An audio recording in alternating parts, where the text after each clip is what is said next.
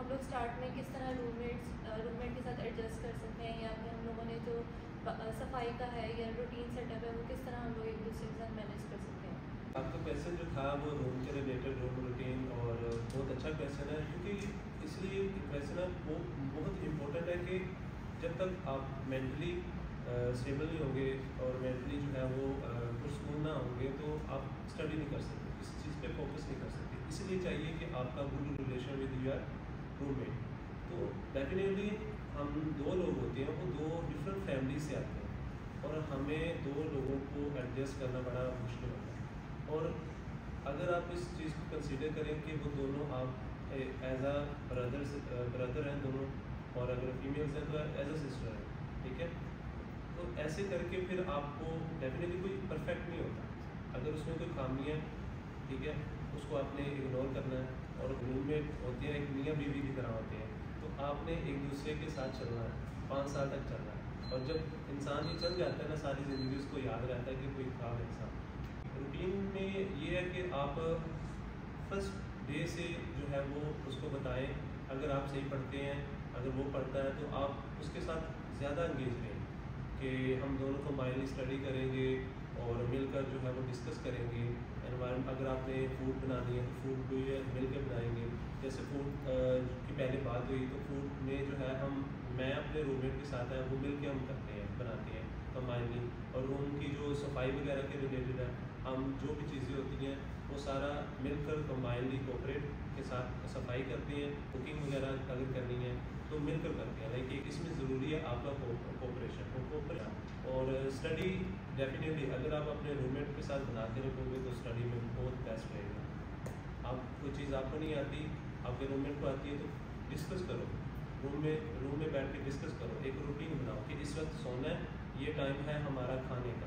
ایک specific time بناؤ۔ ہے نا جہاں تک بات ہوتی ہے نا روم میٹس کی، تو جو امپورٹنٹ بات ہے نا وہ یہ ہے کہ دیکھو، ایک دوسرے کا احساس ہونا ضروری ہے۔ آپ اس کا احساس کرتے ہو، وہ آپ کا احساس کرتے ہیں ایک تو ہم گھر سے دور ہوتے ہیں نا، ہمیں ایک فیملی والی انوائرمنٹ نہیں چاہیے ہوتی ہے کہ کوئی بات یہ ہے کہ دیکھو، دو روم میٹ ہوتے ہیں نا، دو بندے ہوتے ہیں۔ لڑکوں کا تو اتنا ایشو نہیں ہوتا، یہ لوگ یوزلی نہ رہ لیتے ہیں بوائز ہوتے ہیں کسی نے کسی کی چیز استعمال کر لی کپڑے جین سب کچھ چلتا رہتا ہے۔ لیکن گرلس کا یہ ہوتا ہے نا کہ وہ تھوڑا اس معاملے میں ہاں وہ اتنا شیئر نہیں کرتے یہ نہیں کرتے۔ تو اس ٹائم پہ یہ ہوتا ہے کہ دیکھو آپ جتنا اپنی اسپیس میں رہتے ہو جتنی آپ اپنی اسپیس میں رہتے ہو اپنی ایک لمیٹیشن ہوتی ہے نا۔ آپ کسی کو الاؤ کرتے ہو کہ اتنی میری چیز تک اپروچ کر سکتے ہیں وہ اتنا ہی اپروچ کرتے for me I have like five years میرا ایکسپیرینس ہے ہاسٹل میں اس سے پہلے کبھی نہیں تھا۔ تو میں نے جتنا اپنے روم میٹس کے ساتھ ٹائم گزارا بہت اچھا تھا کیونکہ میں نے ان کو ایک اسپیس رکھی ہوئی they never ask me where I am going when I am going why I am going because this is not their concern تو کسی وہ اس کی اپنی پرسنل لائف ہے۔ ٹھیک ہے؟ ایسا روم میٹ ضروری نہیں ہے کہ آپ بہت اچھے فرینڈ بھی ہو نا۔ تو ضروری نہیں ہے کہ ہر بات آپ کو ساری باتیں بتائیں اپنے تک رہو اپنے کام سے کام رکھو۔ ہاں ایک ہیلدی ٹاک ایک healthy discussion about study about food یہ نارمل ہے۔ لیکن پرسنل اسپیس کسی کی انویٹ نہ کرو۔ اگر آپ پرسنل اسپیس نہیں انویٹ کرتے تو پرائیویسی نہیں ہوتی گرلز میں یہ پرابلم ہوتی ہے نا۔ جیسے کہ عرفان نے کہا ایک تو فوڈ ہے فوڈ آپ کوپریٹ کرتے ہو ٹھیک ہے۔ میری دفعہ ایسے ہوتا تھا کہ جس طرح بھی ہم فوڈ مینیج کرتے تھے آپس میں کلیننیس کا ہم نے یہ کیا تھا کہ فار ایگزامپل ہم ویکلی کرتے ہیں یا ہر تھری ڈیز بعد کرتے ہیں تو ایک دم ہر تھری ڈے بعد میری باری ہے تو میں کلین کروں گا۔ اور باقی نیکسٹ تھری ڈیز بعد میرا روم میٹ اچھا باقی جو روٹین کی رہ گئی دیکھو آپ لوگ سب پڑھنے آئے ہو نا so what happen is I found a better solution than fight ایک ہوتا ہے فائٹ کرو لیکن دوسرا جو طریقہ ہوتا ہے کہ sit and talk this is the best way آپ بیٹھو آپ ادب سے رسپیکٹفلی کہو جو بھی آپ کا روم میٹ ہے، جیسے بھی آپ اس کو مخاطب کرتے ہو، کہ مجھے آپ کے صرف فائیو منٹس چاہیے۔ آپ اس سے فائیو منٹس لیں پلیز کر کے ریکویسٹ کر کے، پھر آپ کہیں اچھا میں اس چیز سے ڈسٹرب ہوتا ہوں یا ہوتی ہوں؟ میں اس وقت سونا چاہتی ہوں، میں پڑھنا چاہتی ہوں اس وقت، ٹھیک ہے؟ تو اس طرح talk and discuss is the best thing وقت آتا ہے کہ دونوں سنکرونائز کر دیتے ہیں ایکسیپٹ کر دیتے ہیں۔ اچھا ٹھیک ہے۔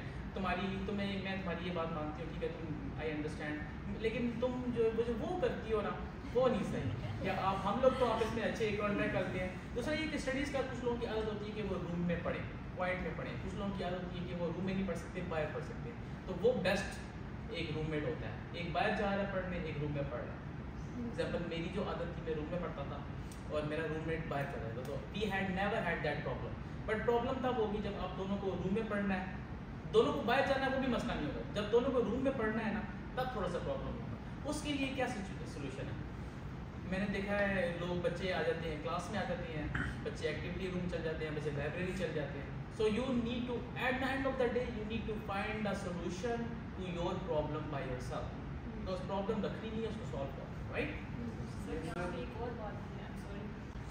سر ہے بوائز کا جو ایشو ہوتا ہے نا سر وہ یہ ہوتا ہے کہ ان کے روم میں ہوتے ہیں بڑے بڑے میوزک اسپیکرس اور نہ ایک اسٹڈی کرنا چاہ رہا ہوتا ہے ایک وہ چلا کے رکھتا ہے تو آئی تھنک ٹھیک ہے ایز اسٹوڈنٹ آپ فن کرتے ہو لیکن اگر کیا کہتے ہیں ان چیزوں کو اپنی ایک ٹائم پہ اچھا لگتا ہے ہر روز نہیں اچھا لگتا اگر آپ کو اتنا ایشو ہو گیا تو آپ پرسنل ہیڈ فونس یوز کرو یا ہینڈ فری یوز کرو رادر دین کیونکہ آپ کو یہ ہیبٹ چینج کرنی پڑے گی ایک بری ہیبٹ کے اوپر آپ لڑائی نہیں کرتے ہوتے کہ نہیں میں نے تو یہ کرنا ہے یہ میرا بھی روم ہے۔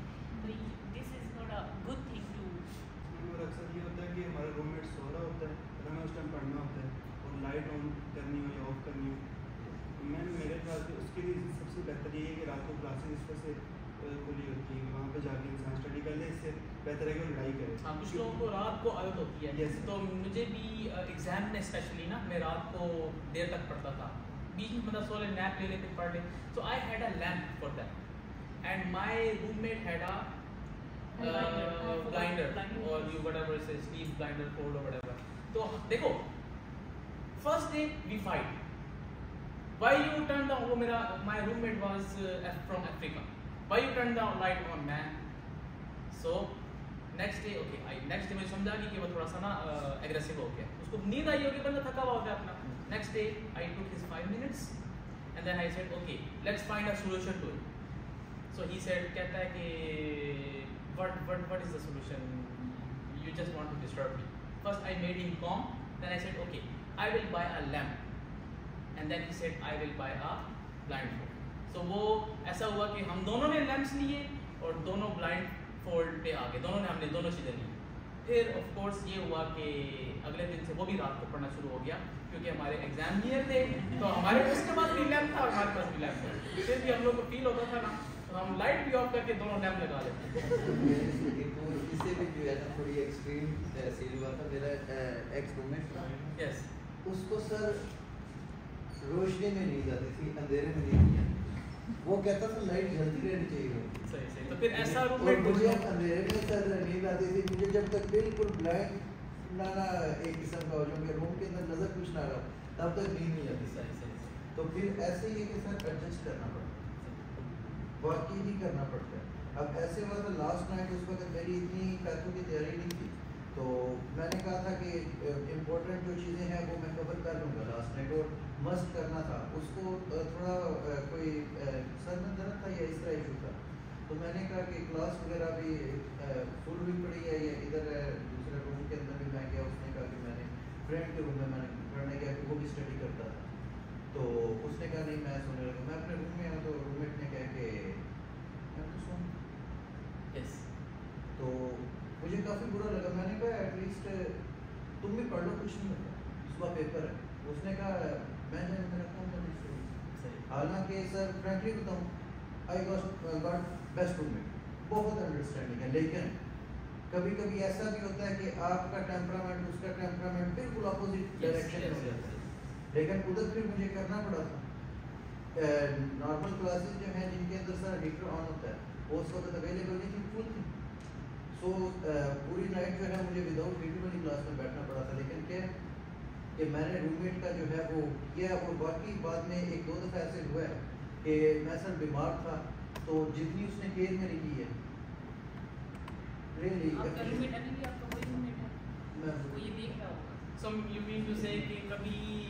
بات سنتے ہیں۔ دیکھو اس دن میں بھی جب پڑھ رہا تھا تو اس نے بھی اگریسو کہا ہے میں پڑھ رہی ہوں you know why you turn the light on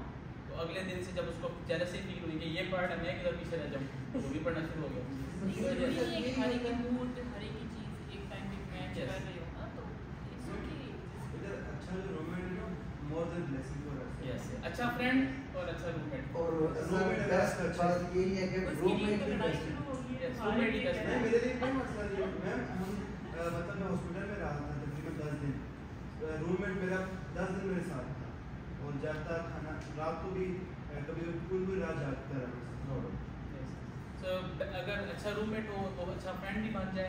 سر اگر روم میٹ اچھا ہے تو it's definitely hundred percent confirm کہ وہی بیسٹ فرینڈ آپ کا یس الحمدللہ یہ بھی اچھی بات کی ہے۔ تو روم میٹ چوز کیسے کرتے ہیں؟ ہمارے تو پاکستان رہتے اچھا پاکستان سے مل جاتے ہیں کچھ؟ ہاں، پاکستان سے جو یہاں پہ رہ جاتے ہیں پھر ان کو رینڈوم ہو جاتا ہے۔ سر ہم ہوئے تھے لیکن الحمد للہ سر یہاں پہ بڑے لکی روم میٹس ہوتے ہیں جو آخر تک وہ سیم رہتے ہیں